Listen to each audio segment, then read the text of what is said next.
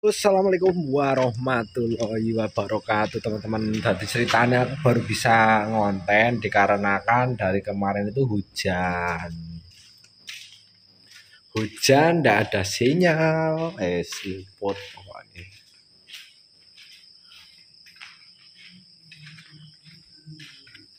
Tapi kok nangkring nang kono Kok nangkring nang dari kemarin itu hujan teman-teman. Hujan angin ya kan? Nggak ada sinyal. Wah rencana aku tuh sebenarnya mau live streaming cuman ya apa boleh buat apa boleh dikata ya. Ternyata kita belum bisa bertemu cara apa ya live. Udah baik teman-teman di sini tuh. Payah banget lah aku sendiri sampai wah lelah lelah. Aku kayak gosong oh enggak efek lampu teman-teman efek gelap.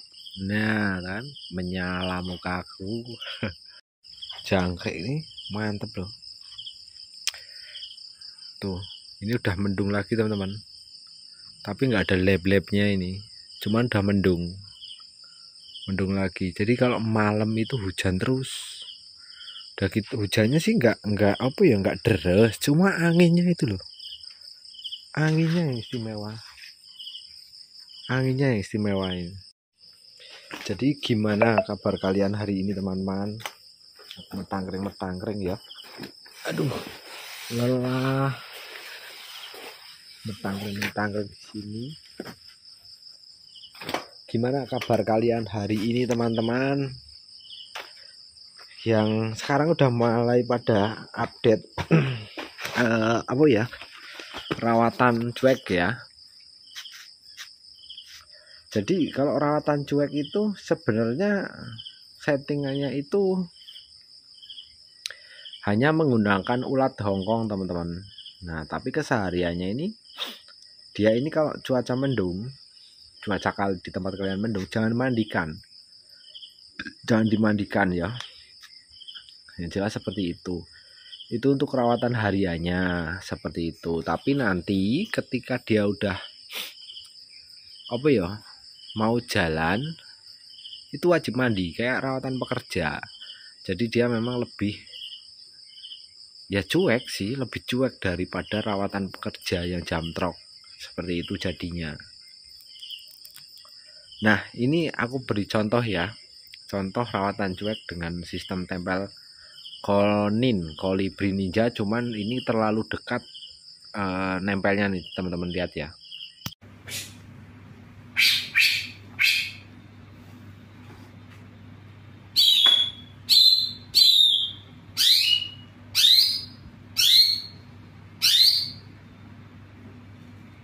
Nah, itu tadi teman-teman. Jadi kalau mau nempel itu jangan terlalu nempel banget begitu. Takutnya takutnya ya. Si kandang ini terlalu dekat ya namanya. Orang kan nggak tahu karena ini kan jaraknya memang agak dekat. Nah kalau pas cabut tempel cabut tempel nanti nggak ngeh si kandang ini nempel ya toh. Terus posisi hijau ini de eh, deket kandang konin. Nah konin itu nempel di jeruji terus di tul kayak gitu selesai koninmu koninmu selesai jadi ekstra puding cuca hijau seperti itu teman-teman. Jadi agak di lebih baik sih ya kurang lebih setengah meter lah ataupun satu meter lah teman-teman. Aman kok. Hanya untuk temen. Kalau terlalu dekat juga si konin ini nggak nggak gacor dia agak takut seperti itu. Jadi saya sarankan memang berjarak lah setengah meter. Ya minimal sih memang standarnya itu satu meter lah. Satu meter itu tuh ketika konin bunyi juga isi hijau juga masih dengar jadi sekalian memasteri seperti itu. Ya teman-teman. Jadi sistem tempel itu seperti itu. Nah untuk kesehariannya rutin. Jemur.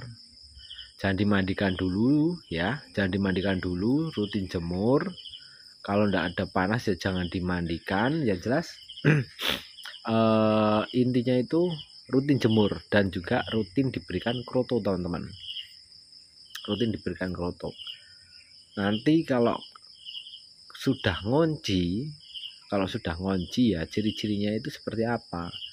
Jadi kesehariannya itu memang si hijau ini kalau udah ngunci udah jadi itu biasanya diawali tanda-tandanya ya. Dia itu udah mulai bongkar isian. Eh bongkar isian bukan bongkar isian. Jadi dia dominan itu suaranya itu besetan teman-teman. Besetan. Tapi kalau memang si si Ijo ini dimasteri dengan konin yang bawain lagu kayak gereja ataupun jungkok dia ya nilai plus ya.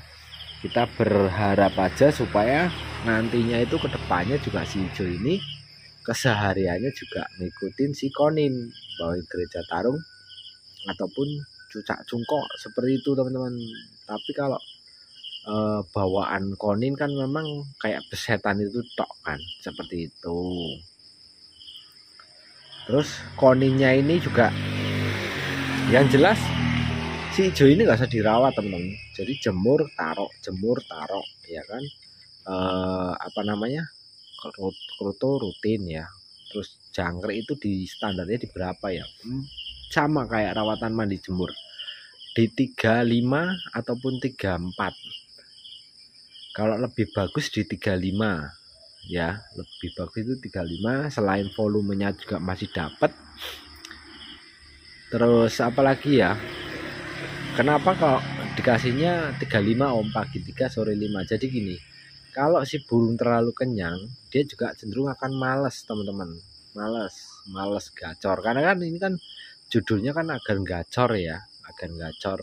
Nanti jadi nggak ada istilahnya burung kecapean di rumah seperti itu. Memang rawatan cuek itu kesehariannya itu ketika jam-jam duaan sekitar jam 2 ke atas ya dia mulai bongkar-bongkar ataupun besetan-besetan terus ya itu usahakan ditandai dengan cara yaitu di jam berapa sih mulai seperti itu. kalau bisa ditandain teman-teman. Sehari dilihat kok masih dua hari dilihat kok masih beset-beset seperti itu. Tiga hari dilihat ya kalau memang sampean ataupun jenengan ini yakin ya wes apa adanya kerodong bawa ke lapang.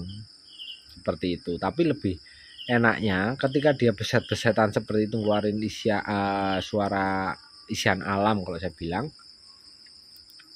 itu sembari diberikan uha coba diberikan tiga di rumah. Karena gini cucak hijau rawatan peker uh, mohon maaf cucak hijau rawatan cuek ini dia itu cenderung no respon teman-teman dengan burung lain. Dia jadi walaupun mau di track kayak apa dia cuek dan hanya nekuk leher seperti itu. Rawatan cuek itu seperti itu tapi dia ketika digantung ataupun dicantelin dia baru mau bunyi seperti itu. Makanya rawatan cuek itu lebih baik taruhnya itu berdua terus dengan konin konin si itu ya konin itu tadi. Cuman kalau dia dipisah itu usahakan taruh bawah biarkan dia tidak bunyi. Nanti kalau mau ngetes itu pun nggak usah istilahnya bingung. Karena kesehariannya ketika dicantelin itu pasti suara isian ataupun besetan. Seperti itu teman-teman ya. Untuk prosesnya memang kalau bisa sih memang pas setelah sebelum mabung ya. Jadi pas mabung itu ketemu si konin. Jadi itu lebih bagus karena ya itu itu tadi. Nilai plusnya memelihara ataupun merawat burung mau mabung itu itu untuk uh, hijau ya. Jadi dia cepet cepet jadi. Tapi kalau belum mabung ya agak lama teman-teman. Apalagi burung posisi istilahnya uh, apa ya setelah mabung itu juga lama diadaptasinya. Seperti itu Nah untuk setelan lapangannya gimana? Nggak usah di hari itu nggak usah dianeh usah apa adanya dia bunyi besar-besar bawa ke lapangan. Di lapangan diablak aja. Diablak tapi taruh bawah. Usahakan diablak taruh bawah tapi penempatannya itu jangan di tempat yang adem ataupun singkup ya. Cari tempat yang suhu netral. Intinya rawatan cuek ini cenderung ke insting pemilik. Kalau insting pemiliknya yakin gantang. Tapi kalau nggak yakin ya kalau bimbang apalagi rawatan cuek ini ketika ditaruh di bawah itu nggak mau bunyi teman-teman. Ya wes diem aja. Nanti ketika mau nyetel cantelin kasih UH tiga. Ya tiga maksimal. Kalau lebih dari itu biasanya nyisir dia. Pesan-pesan sambil nyisir. Nah nanti kalau uh, udah mulai ganteng sekali ya kan dua kali. Nanti barulah sebelum berangkat tetap wajib mandi teman-teman. Sebelum sebelum berangkat ke gantangan seperti itu. Ya untuk teman-teman jelas. Semoga apa yang saya sampaikan bermanfaat teman-teman. Ya di malam Jumat dan jangkrik tok yang menemani. Guys jangan lupa kewajibannya malam Jumat ya Oke, saya mau lanjut. Kewajiban malam Jumat bukan sunnah Rasul, maksudnya bukan yang jorok-jorok loh ya, bukan yang jorok-jorok teman-teman. Oke, selamat malam. Assalamualaikum warahmatullahi wabarakatuh.